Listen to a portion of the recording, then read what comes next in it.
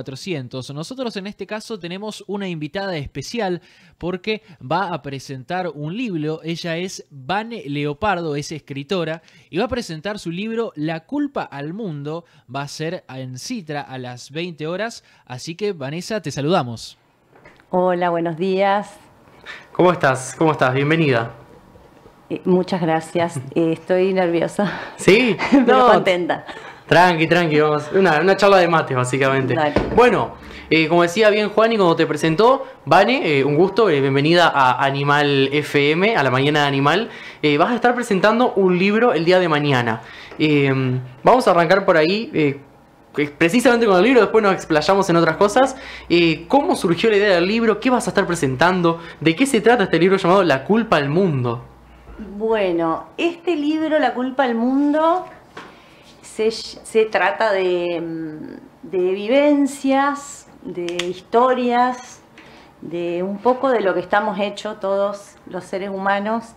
Se, trata un poco de, de las ausencias, de las despedidas, de los encuentros y sobre todo de, de que tenemos el 100% de protagonismo en nuestra propia, historia, digamos, aún atravesando situaciones azarosas y teniendo encuentros fortuitos y no pudiendo decidirlo todo. El título es un poco, tiene cierta cuota de sarcasmo, si se quiere, eh, en una época en la que mm, recibimos muchos mensajes acerca de que si en esta vida, digamos, el que llega es el que se esfuerza, y si lo logras es porque te sacrificaste y, si no lo logras es porque te faltó trabajo eh, y que recibís lo que das y que el universo te envía lo que manifestás y que basta con desearlo para que se concrete.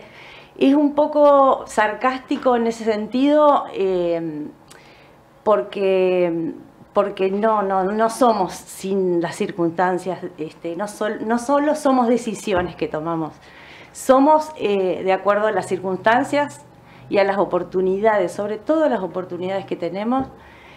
Eh, el libro tiene que ver un poco con eso, con un, con un trayecto de mi vida, digamos, de toda mi vida, porque si no lo recortaría en una especie de fotocarnet y te cuento el ratito de hoy, que es hermoso, que es feliz y que... Eh, un montón de, oportunidades que tuve significativas a lo largo de, toda mi vida. La oportunidad de aprender a leer y a escribir, la oportunidad de tener docentes que me, que me contagiaron la pasión por el conocimiento y, el querer conocerte hace leer. Y bueno, después lo posterior, que fue la necesidad personal íntima de, de escribir desde muy chiquita y que bueno, hoy se concreta en este libro porque descubrí un poco, ya grande, ¿no? Tengo 46, descubrí un poco que no estoy rota si tengo pérdidas, que no estamos rotos, que no hay que arreglarse, este imperativo también cultural de que uno si se rompe se tiene que reparar, eh, como que uno fuera eh, partes que se tienen que estar todo el tiempo pegando y completando. Eh, no estamos rotos, estamos enteros, estamos completos, cargando quizás con un montón de, ausencias y de pérdidas y de despedidas a las que nos invitan otros, pero tenemos que ir porque a veces alguien se quiere despedir de nosotros y, tenemos que, asistir a eso también. Así que es un poco esto, el producto de este trayecto, no de haber aprendido a perder, porque creo que no se aprende a perder, uno pierde, pero sí haber aprendido a, a dar por perdido. Eh, que es como, como otro proceso, dar por perdido es como otro proceso. No milito el soltar para nada, ni lo voy a hacer. No soy militante del soltar porque no puedo, no porque tenga una posición ideológica en relación a eso. No, no puedo, no he podido, digamos, no puedo fácilmente soltar y dejar cosas sin que haya en el medio algún proceso que a veces es doloroso. Y el libro también trata de las cosas maravillosas y de la gente este, mágica y hermosa con la que uno se, rodea y, bueno, y que son los, fragmentos de felicidad que uno tiene al final. Qué locura. Ahora, entonces, imagínate que eh, el primer lector que, que, que agarre el libro abre la primera página y empieza, empieza a leer, se va a encontrar eh, con qué tipo de, escritura, más poética, más, eh, más real, con cómo, cómo pensaste el libro, cómo pensaste, eh, que ya vamos a hablar un poco de esas, de quizás de, tu trayectoria, pero esas vivencias que juntaste para formar este libro, cómo lo pensaste, cómo lo plasmaste luego. el libro no es autobiográfico, el libro no trata de mí y solo de mis vivencias, que por supuesto que las hay. Son como un disparador. Sino que trata de historias de temas íntimo, si se quiere, porque el libro es íntimo y forma parte de un proceso de, dos o tres años míos de todo esto que te contaba, de, aprender a, de, aprender a dar por perdido y no a soltar. Em, y, yo creo que el lector se va a encontrar con, con esto, con la intimidad de las vivencias personales y a la vez con temas universales, porque la verdad es que em, todos sufrimos de lo mismo quizás en distintas circunstancias, quizás lo podemos sobrellevar de distintas maneras, pero creo que todos sufrimos de lo mismo, todos queremos a alguien que nos quiera, eh, todos queremos formar parte, todos queremos este, no tener que cumplir con tantos atributos para, para, para poder pertenecer a algunos lugares, ya sean vínculos, grupos, instituciones, sociedad somos una sociedad muy clasificadora también, ¿no? Eh, que siempre buscamos atributos para ver quién queda fuera. Eh, así que yo creo que el lector se va a encontrar un poco con eso, con historias que, ojalá que sí, porque es la idea, que, ojalá se encuentren en algún relato. Eh, y es muy íntimo y podría ser muy mío y solo referirse a historias mías, pero no lo es. se me arman historias escuchando un amigo, una amiga, personas hablando, alguien que cuenta algo de su vida cotidiana y se me arma como la trama y empiezo a escribir con mi impronta. Por supuesto que hay todo puesto de mí y eso es lo, íntimo del libro, pero creo que son cosas que nos pasan un poco a todos y bueno, ahí esa es un poco la apuesta, de encontrarme con el otro eh, no sentirnos tan solos, encontrarme con el otro a, través de la lectura y de la escritura. Y en esto de poner tu impronta, eh, esto que decís de no cualquiera escucha a, o sea, cualquiera escucha a un amigo, pero no cualquiera empieza a tramar una historia o a escribir detrás. ¿Cómo surge, dijiste que muy, que muy de chiquita, pero particularmente, cómo surge esto de escribir? Porque a muchos nos gusta leer, y no todos escribimos. Sí, tal cual. Eh, ¿Cómo, cómo surge eso de escribir? Tal cual. Bueno, la lectura genera escritura muchas veces, no en todo el mundo, pero leer es como un paso como fundamental. Paso previo. leí mucho, leí mucho de chica. Eh, y después lo que me pasó, yo creo que lo que me pasó un poco fue el hecho de necesitar, eh, necesitar escribir. Yo necesito escribir porque encontré en eso desde muy chica, eh, aunque ahora le di otra forma y otra idea, más haces libros, pero, pero lo primitivo fue... Sí, lo primitivo fue el, ponerle palabras a, a, algunos silencios quizás o algunas situaciones como que no les terminaba de encontrar la vuelta y entonces de chica escribí, escribí mucho, mi adolescencia fueron carpetas enormes de escritura. Mis amigos, mis amigas y mis amores eh, que he tenido y que tengo siempre han recibido alguna cosa escrita porque yo encuentro ahí una manera de expresarme que, que me, no sé si es mejor, pero bueno, en donde fluyo de otra manera. Entonces la escritura tiene para mí un un sentido re importante, re valioso. Es como jugar al solitario, o sea, es mi forma de estar sola, pero mucho más lindo que jugar al solitario. Em, y la necesidad es la escritura. El libro no fue una necesidad. En realidad, el libro se va dando. Después, cuando yo empiezo como a, a ver que había otras personas que les pasaba lo mismo, y me, o me escribían y, esto vos lo escribiste pensando, esto es mi historia. Se sentían muy identificados con los textos, dijiste, para... Debe haber más gente entonces que también. escribe, yo creo que uno escribe para uno realmente, jugando al solitario y, sanando un poco, tratando de sanar algunas cosas muy íntimas y subjetivas. Pero bueno, cuando uno publica, yo publicaba en las redes, uno ya publica esperando la mirada del otro, digamos. Claro. Eso es una realidad. Y cuando empezás a recibir algo de esto, este, que me mandaban por un mensaje por privado, ni hablar la gente que me quiere y la gente que me alienta y, mis amigos y mi, pareja, la gente que, me rodea, pero digo, que, se encontraban en algunos textos, eso fue maravilloso. yo empecé a decir, yo tengo que hacer algo más con esto.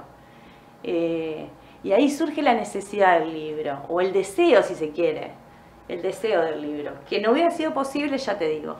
Eh, no podemos nada si no tenemos oportunidades.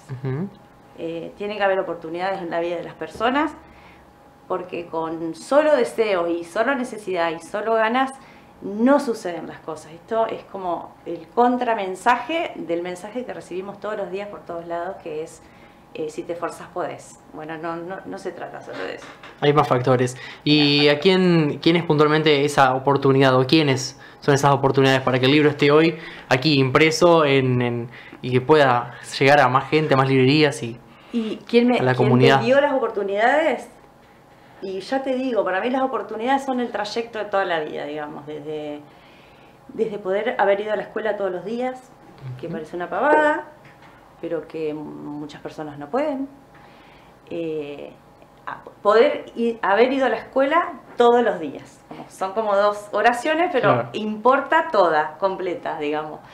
Eh, y esto que te digo, que alguien te transmita la, el, deseo de, saber, ¿no? Que tener docente, yo no sé multiplicar, yo no sé las tablas, sé multiplicar, perdón, yo no sé las tablas de memoria, lo tengo que, decir, pero sí mis docentes me dejaron el deseo por el conocimiento, me dejaron ganas de saber, me dejaron ganas de, de investigar, de, y eso te lleva a los libros, claro. es todo o sea, paturucito, todas estas cosas, y después empezás a elegir de acuerdo a los intereses a medida que vas creciendo. Yo creo que los docentes que he tenido han sido oportunidades significativas, lo mismo en el secundario, poder ir, haber ido al, colegio, eh, al Colegio Nacional donde fui, y docentes que me apasionen también con la literatura, eh, y lugares en donde circula la palabra. Entonces vos decís, está bueno esto que circule la palabra, que ahora estoy convencidísima y quiero que circule la palabra por todos lados, pues no puedo de otra manera. Eh, eh, esa serie de oportunidades, la oportunidad por supuesto de una situación hoy actual mía que me permite destinar parte del ingreso a, a, trabajar con una editorial y poder publicar un libro, digamos, porque es toda una apuesta que uno hace. Definitivamente esa serie de oportunidades y la gente que te acompaña, ni hablar, la gente que te alienta. Eh, creo que, esas son las circunstancias que te decía al principio. Es un cúmulo de cosas que te llegaron a donde estás hoy y eh, donde vas a estar mañana. Porque mañana vas a estar en Citra y veíamos hace un tiempo ahí en la, en la imagen aquí en el estudio, que va a salir luego en la entrevista cuando esté en YouTube grabada, eh, que vas a estar acompañada no vas a estar sola, va a haber eh, más chicas, si no me equivoco, eh, que van a estar. Contame un poco de, qué se va a tratar, qué va a haber, eh, con quién se va a encontrar la gente mañana en, a las 20 horas en Citra. Voy a estar, ah, no había visto, voy a estar hermosamente acompañada. La presentación del libro va a estar a cargo de Paula Ciancio, eh, la música va a estar a cargo de Clara Bañasco y Fausto Godoy, que son unos divinos, la música es espectacular. Eh, un poco de, rock nacional va a haber, porque es lo que me gusta. Eh, y después va a haber, digamos, vamos a presentar el libro un poco entre todos, porque yo me pongo un poco panicosa, necesitaba ahí la red. ayuda de contención, así que Armé la red de contención con un montón de gente querida que va a estar haciendo lecturas de algunos relatos y, bueno, la idea es, la idea es eh, en ese lugar hermoso que es Citra porque es una maravilla, es muy lindo, muy lindo. Para una tertulia es lo más, es el mejor lugar. Así que la idea es eso, la tertulia literaria y como instalar un poco el modo conversación ahí entre todos los que estemos y, y que el libro se vaya presentando. Así que esa es un poco la idea. Es mañana viernes 9 a las 20 horas. Eh, en Citra. Y eh, lo último, para también el que está interesado, ¿dónde se puede conseguir el libro y cuánto vale?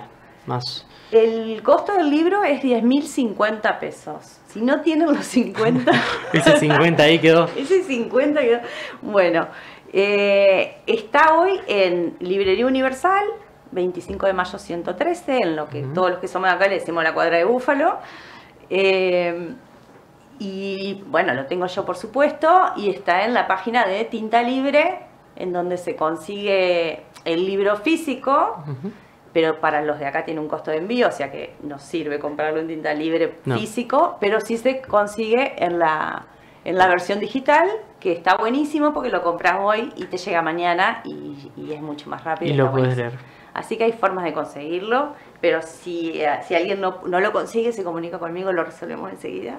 Bien. Quiero que todo el mundo lo lea, tengo mucha ilusión de que lo conozcan. Eh, Así que está, está, está disponible, está disponible. Seguro que sí, seguro que va a llegar a, mucha gente y se va a hacer también después el boca en boca. Entonces mañana, eh, viernes 9, en Citra a las 20 horas, presentación del libro La culpa del mundo. Y si no, también lo podés conseguir a través de las distintas librerías que mencionó eh, Banner. La podés encontrar en Instagram como bajo leopardo Gracias por venir, gracias por estar en la mañana animal con nosotros. Gracias a ustedes por la difusión, que es muy importante. Le agradezco un montón. Y están invitadísimos mañana, por supuesto. Espectacular.